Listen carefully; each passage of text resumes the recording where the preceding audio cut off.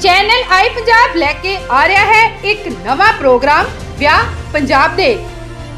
ਇਸ ਪ੍ਰੋਗਰਾਮ ਵਿੱਚ ਦਿਖਾਇਆ ਜਾਇਆ ਕਰੇਗਾ ਪੰਜਾਬ ਵਿੱਚ ਕਿਸ ਤਰ੍ਹਾਂ ਦੇ ਸੱਭਿਆਚਾਰ ਨਾਲ ਵਿਆਹ ਹੁੰਦੇ ਹਨ ਪ੍ਰੋਗਰਾਮ ਦੀ ਪਹਿਲੀ ਕੜੀ